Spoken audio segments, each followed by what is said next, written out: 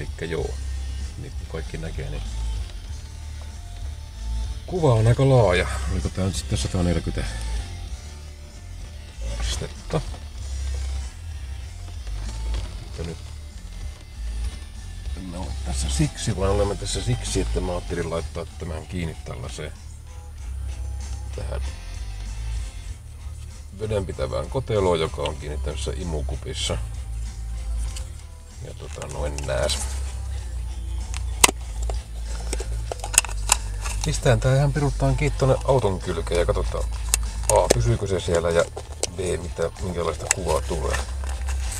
Täytyy, että on vaikea ottaa yhdellä kädellä. Ja tässä kohtaa sivuhuomautuksena mainittakoon. No. No, sinnehän sukeltaa.